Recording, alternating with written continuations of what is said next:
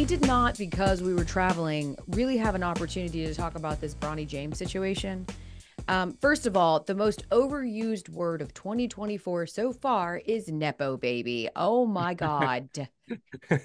I wouldn't I don't I don't have any experience in it, Elle, fortunately, uh growing up, but I've certainly been given the crash course since he was drafted 55th overall. I don't know if you know this, but he is LeBron's son. I've heard.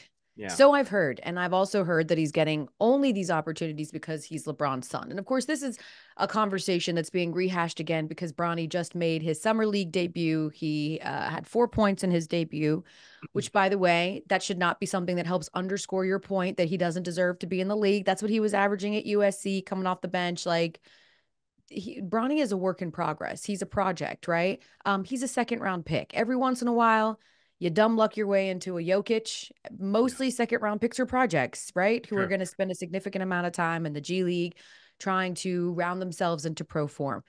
I, in the midst of all this madness after he was drafted, firmly stood kind of in the same position that Adrian Wojnarowski did in that nepotism is rampant, not just in the NBA, but in our world, Gary. Mm-hmm. And I'm going to say something right now that people aren't going to like every one of you wish I lay in bed at night sometimes still at 41 years old going, if my parents could have just done it differently and set themselves up differently, I too could have been a Nepo baby. The whole entire point mm-hmm. is that we as parents work particularly hard and we do it so that we can have a better future for our children okay and you don't have to like that and if you don't have kids or you do have kids but you you aren't in a position where you're going to be able to sort of pass down something to them i understand most of us are not in that space. I certainly am not, right? Like I never was. I never had the ability to be a nepo baby. Mm-hmm. My parents worked very hard and did everything they could so I could empower and help myself. But to say that I would not have appreciated some additional help, some doors to be opened at the beginning of my career when I was trying to find my footing, to say I couldn't have used a little bit of a pull up or a help up or a step up. Yeah. We all want and need those things. It's just that most of us don't have the benefit of someone with cachet and clout and a Rolodex and the power and ability to single handedly set us on the right track to our career. We can't besmirch and denigrate and be angry at people who do I mean, it just is what it is. We live in a society filled with nepotism, whether it's I, your own family or people that you feel familiar with, or people that you golf with, or you guys just went to the same alma mater. And so all of a true. sudden, you guys are homies. Like, people always look to help and advance people who are either close to them or feel like family to them or are in fact family to them. And I don't understand why we can't look past just the name part of it, Gary, because if on its surface, I came to you and was like, here's a story about a kid who was who had open heart surgery a year mm-hmm. ago, mm-hmm. trying to pursue this dream of his. And now a year later, he is trying to become a professional in the NBA you might go, wow, what a like great story. Make that a Disney Junior story. But because mm-hmm. he's LeBron James kid, we don't want to have any empathy or compassion to him or his journey. We want to just go, you don't deserve it. You don't earn it. Daddy did this for you. And mm-hmm. I just think it's unfair. I can see both sides of the argument. And certainly we're getting more than two different opinions on it. First and foremost, the NBA draft in and of itself even inside of the top dozen picks, even inside the lottery, is the biggest crapshoot, in my opinion, of the big four uh, professional league drafts. So taking a flyer at 55, or it would have been hilarious if the Celtics took him at 54. I think anything outside of a top 15 draft pick um, is an is an absolute gamble. No matter no matter who the name is. Hell, we've seen busts at one, two, three, more in the NBA than we've seen in any other league. Um, additionally, heavy is the head that wears the crown, right? We saw this with Jordan's kids, and they were given a chance. And you're never, ever, ever going to live up to what, in this case, Michael Jordan, or in this most recent case, LeBron James, has paved the way for in his family's name and in that basketball lineage. I get that. But there's also this argument of, especially, you know, recently, people are like, earn what you got or share the equity. But when we're seeing something, and I think objectively, people can see that this was sort of plucked and put at the front of the line, I think that's where we have a little bit of an issue because a lot of other places where you know nepotism and who you know because what do we say right? It's not what you know it's who you know. A lot of those other places um it can't be measured with like straight up measurables and deliverables right? It's who you know hey let me slide this in here. You can actually quantify uh, Bronny James's impact on a basketball court, and arguments have been made that there are so many better options at that position to have given an opportunity to. So it's weird because I can kind of see both sides of it. I've never benefited from, you know, being the Nepo baby. Um, but I can also see how you mentioned, damn, that'd be so cool. If somebody could just like let me start at the finish line. like, and, but this isn't the finish line. I mean, the, here's the truth of it. I remember someone saying something to me after Girl Dad, and they meant it really in a in a positive way. Uh-huh. And they were they're a friend, and so if they're listening, I hope you know it made me think a little bit about what you said. But after Girl Dad, I remember him saying to me, You realize you're never going to do anything ever again that will ever be more impactful or important than Girl Dad. And I was like, Damn, really? Yeah, professionally. Okay. Like you're never going to be able to top that ever. And I just remember thinking, like, well, I understand that you think that that is a, a positive. You think that's a compliment. Like you're trying to speak to the gravity of Girl Dad and how big it became. But also, like, it feels incredibly unfulfilling for someone to tell you, predict that you're never going to mm-hmm. do anything that will be nearly as important as this thing that you did. And I think that the idea that we tell the offspring of really important or famous people a you're never going to be as good as your father and chances are he won't. His father is a one of a one. Like there's many people who will try and fail to be as good as lebron james for as long as lebron james has been good but I think that alone, the mental fortitude alone to say, mm. no, I'm not coming out as highly touted as my dad. And I certainly have more challenges that I need to make. But like, I'm going to try and create my own name in this space where my dad already made a name. Like, I think, you know, LeBron kind of hit on it with his interview where he was like, Bronny could choose to do whatever he wants, right? Bronny has the benefit of choices and options. You know, when you get that mm. level of rich, you get to look at your child and say, you get to pursue your passions. You still have to work hard, right? Like you still need to have integrity. You need to still have professionalism, but you get to choose what lane you want. You get to mm-hmm. choose what passions that you like because you don't have to worry about that safety net. And the idea that instead of becoming, as LeBron said, a chef or an influencer or a marketing guy or a guy that throws parties or any other thing that he could do he decided i'm going to go and try and be in this space. And i think that takes balls. I do. And i i don't think there's anything wrong with certainly the people going well you know opportunities and this and that and someone's missing out on an opportunity. I would challenge this gary just like i challenged the guy that approached me when i was on family vacation to debate about whether you know little bronny deserves this or not. Who did he slight? Like who give me the names of the players who could have been and should have been taken at 55 overall in the NBA who you are hating life for right now. And then, of course, he has a blank stare on his face because he can't mm-hmm. name a single player that would have gone 55th overall. And I go, okay, well, who is your team? And he's like, well, I'm a Sixers fan. I said, who did y'all draft in the second round last year? Crickets. And that's my point. My point is, is that nepotism is everywhere. And you want to have a whole conversation about nepotism, fine. And whether it's right or fair, there's a million reasons why we say things like it's important for marginalized groups or for subgroups to have representation in offices. Because the truth of the matter is, if that there is someone in those offices that looks more like you, Gary, there is more opportunity for advancement for people that look like you because, again, it's a natural behavior to want to surround yourself with people who you relate to, right? So that is a deeper conversation. But to be mad specifically at LeBron, look at Thanasis Antetokounmpo. That dude literally has a whole job because he's Giannis's brother or the other mm-hmm. brother. Like, there's nothing wrong with that. We just normally don't live in a sports world where the dad still playing when the kid is old enough to come and join him as well.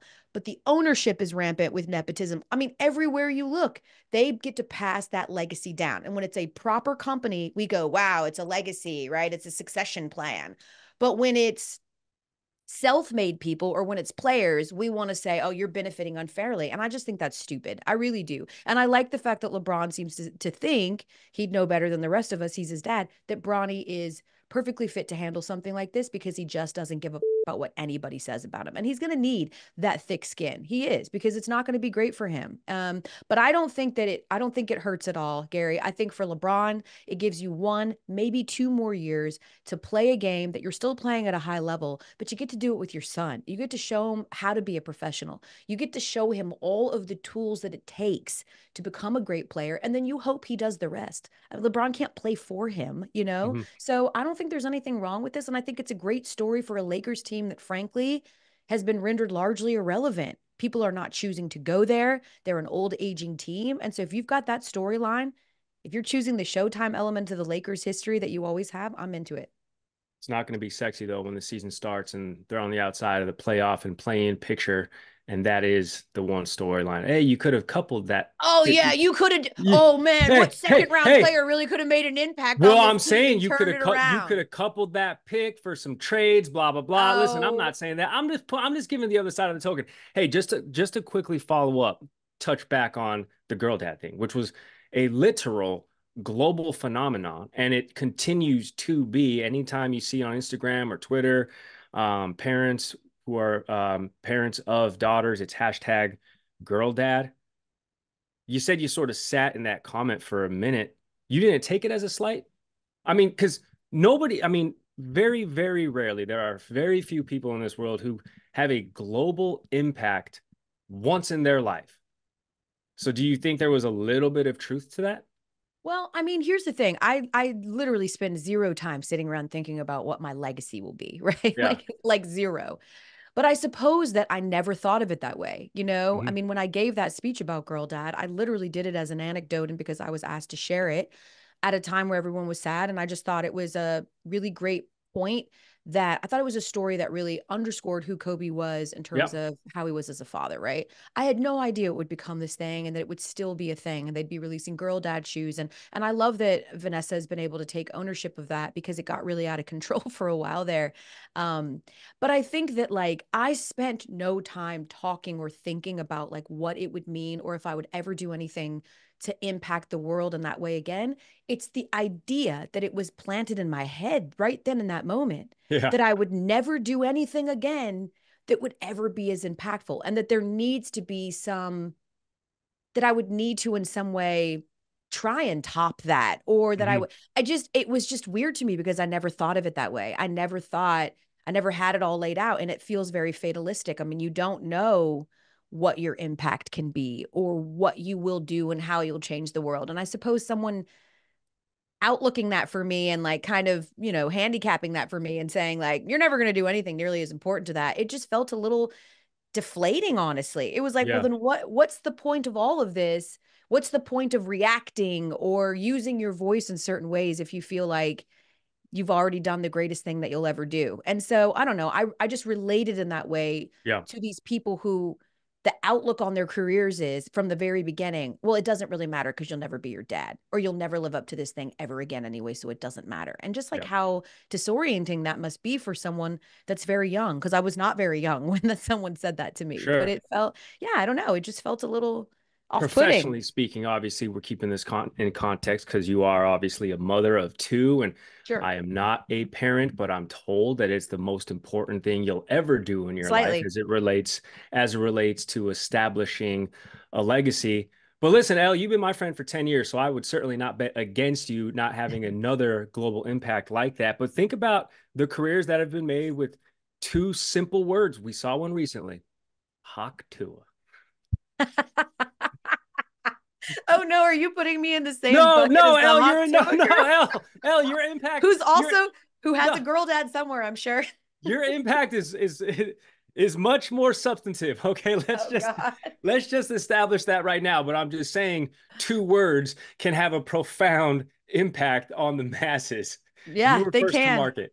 They can. And apparently, Nepo Baby is also another one. Who do we think is going to give him, like, what are the insults that Bronny's going to get? Oh, you know, because there's some trash talkers in the league. Like, Anthony Edwards is a notorious trash talker. It's what would one. you, what would be your slight for Bronny? I feel like the whole, you, who your dad is, is like, It's- that's like, oh, yeah, that's like, uh, that's It's- overused. overused. No, you gotta play. You gotta play the hits in this. Okay. So give me one. Give me an example. I mean, it's literally been all over Twitter. Like you only hear because your daddy. Like that's That's not even That's- clever. that's a. But it doesn't have to be clever because some people would say that it's simply speaking fact. And you know what hurts more than like a slight that you know isn't true? A factual statement. it's like that shit, that shit, that shit rip out your heart. It just rip out your guts. Uh, so Anthony Edwards, for sure. Um, he was he was the antagonist in uh the Adam Sandler movie. I think it's called Hustle. Um, he was Kermit Wilts, and he talked so much trash. But I Yeah, feel he like he good. wasn't even he wasn't even playing a character. He was just He wasn't. He was just him. Yeah, Uh, you that's got, him. You got Dillon Brooks. Obviously, he's one of those guys that you hate unless he's on your team. And some would even argue that you probably hate him even if he is on your team. All right. We saw him getting into so many beefs um, over the last couple of years. So he will for sure. And and by the way, Dillon Brooks probably be playing down there in the G League against against Bronny. You know what I'm saying? So he's he's one of those dudes for sure. I think um I wonder if there will be any amount of like I don't really want to go after LeBron's kid. Correct. Like, you know, like LeBron's gonna end up in either somebody's front office or somewhere in the NBA. He's just a person of great respect and power. Yes. And I wonder if there'll be some reservedness to go after his son because he will be there. Um, but I I do have one for them to put a button on this Nepo baby talk. That is always my tried and true. Like I've trotted this one out a few times when I'm getting Oh, into an argument with a man and he's trying to like sling whatever. Okay, you ready? So they're on the court and insert, I don't know, Patrick Beverley. And he's like, Bronny's like talking back, as he should. Run your mouth, Bronny. And Pat Bev's like, You're just mad because you're not half the man your mother is. Oh my gosh. Elle, Elle, hold on. Time out. I use that. I've used that one a few times. Uh, and then, like, you know, inevitably, like, one, you know, a rando will be like, My mother's dead. And I'm like, and always. thank goodness with a son like you. Oh my God. Elle, you're doubling down. Timeout, flagrant, violation, throw the flag, double technical. I thought we're supposed to leave family out of this. I thought I thought always women say that, Gary. I you thought keep women and saying that, children and I'm off like, limits. no, that's how you win. Is you bring family into. What do you mean? No, because you got Russell Wilson going into the stands when people are clowning on his family, and you got all these other dudes going into the stands when you bring up wives, girlfriends, side chicks, and whatnot. That's all off limits, I.